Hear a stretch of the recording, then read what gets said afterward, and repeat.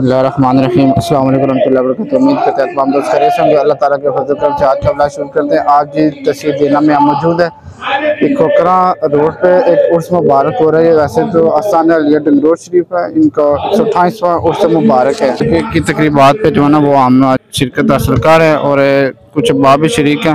تو انشاءاللہ کچھ ڈرون شاٹ بھی لیں گے، وہ بھی آپ کے ساتھ شیئر کریں گے۔ باقی لنگر خانے کے جو کچھ ڈیٹیل سے بتائیں گے کہ جو لنگر جو ہے نا وہ کیسے تیار کیا جاتا ہے اور پھر اس کے بعد کیسے عوام کو جو ہے نا وہ بٹھا کے باعث طریقے سے کھلایا جاتا ہے۔ یہ پیچھے لنگر خانہ بھی ہے جو سب سے ضروری بات ہے نا کہ یہ اعتراض ہوتا ہے کہ جو ہے نا وہ کچھ دوست جو مزارات پہ ڈول باجوں کا جو ہے نا وہ نظام ہے یا ڈول باجے بجائے جاتے ہیں۔ الحمدللہ اس بھی پورا جو آپ کو ڈرون کے ساتھ وہ وزٹ کروائیں گے کسی بھی جگہ پہ ایک ڈول بھی نہیں موجود۔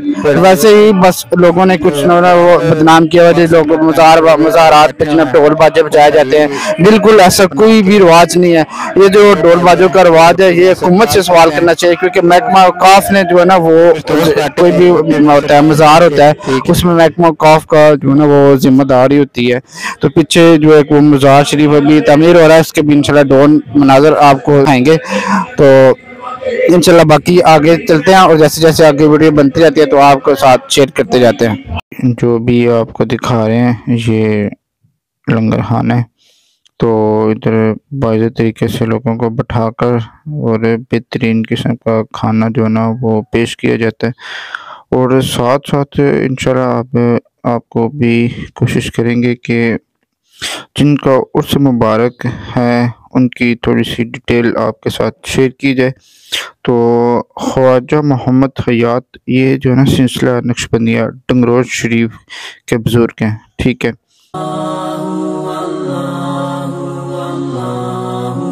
اور یہ بزرگ جو انہیں حضرت اعلیٰ بابا جی بھی کہا جاتا ہے۔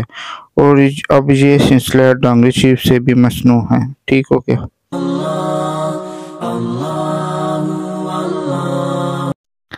اور یہ جو بھی ہم آپ کو مزار شریف جو دکھا رہے ہیں، یہ خواجہ محمد شریف صاحب رحمۃ اللہ علیہ کا مزار شریف ہے، جو کہ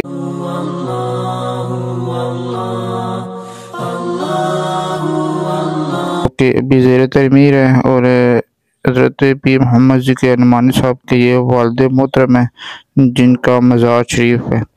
تو خواجہ محمد شریف کے جو نا وہ بزرگان دین ہیں، ٹھیک ہے، ان کا ہم آج تذکرہ کرنے جا رہے ہیں۔ تو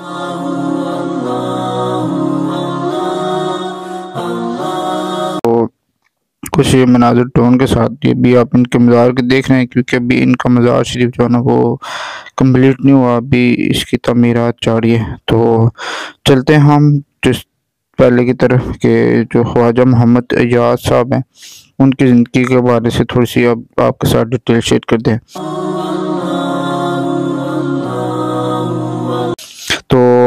ان کی ولادت جو ہے میرپور کشمیر کے جنوب مغرب میں دریا جلم اور دریا پنچ کے سنگا پر واقع ڈنگرو شریف میں اٹھارہ سو سینتی میں ولادت ہوئی۔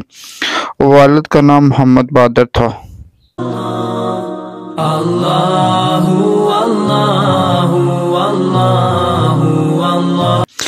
خواجہ محمد اجاد صاحب نے جو ابتدائی تعلیم ہے نا ابتدائی تعلیم ڈنگرو شریف جو گاؤں تھا، اصل کی تھی۔ قرآن پاک حفظ کرنے کے بعد یہ دینہ کے قریب ساگری جو نا، وہ آگے تھے۔ فن تجوید کے لیے کھڑیے کے قریب جڑا میں حافظ خواجدین کے پاس کے بعد تکمیل تعلیم ڈنگروٹ میں تدریس شروع کی اور کچھ عرصے بعد میرپور کے قریب قصبہ تھا، ادھر وہ چلے گئے تھے۔ اور وہاں پہ آگے جو ہے نا انہوں نے بیعت اور خلافت کا سلسلہ جو ہے نا وہ شروع کیا تھا۔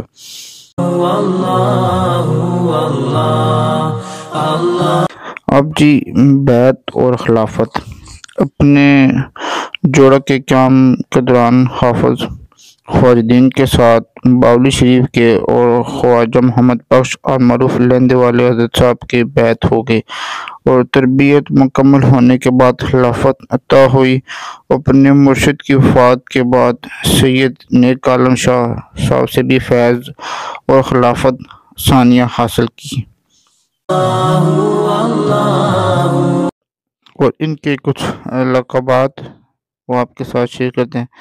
ان کو قبلہ عالم حضرت بابا جی حضرت صاحب اور حاوت جی کے نام سے لقبات سے نوازا گیا تھا۔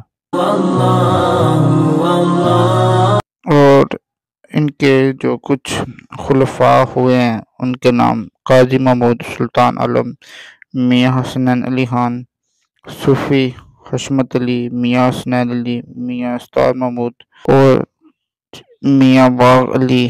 میاں شاہ محمود فتح پور، میاں خوش محمد، میاں باغ علی شامل ہیں۔ اور اب ان کی جو ہے نا وہ اولاد جو مبارک ہے ان کے حوالے سے آپ کو تھوڑی سی ڈیٹیل بتاتے ہیں۔ ان کی اولاد مبارک کا نام حافظ محمد علی، حافظ محمد شفی حافظ محمد نواب اور حافظ احمد علی شامل ہیں۔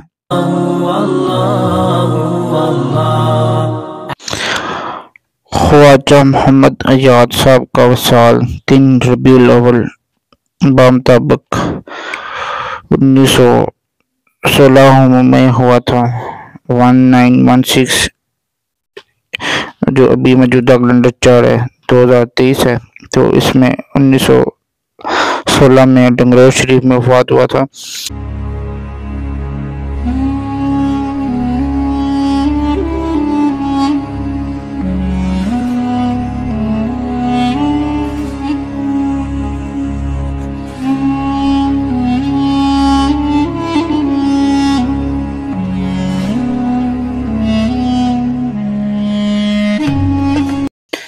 جی یہ جو آپ مزار شریف دیکھ رہے ہیں، یہ خواجہ محمد شریف صاحب کا مزار مبارک ہے، جو ابھی زیر تعمیر ہے، تو ہم مزار کے اندر جو قبر مبارک ہے، اس کے پاس بیٹھ کے دعا وغیرہ کر رہے تھے۔ اللہ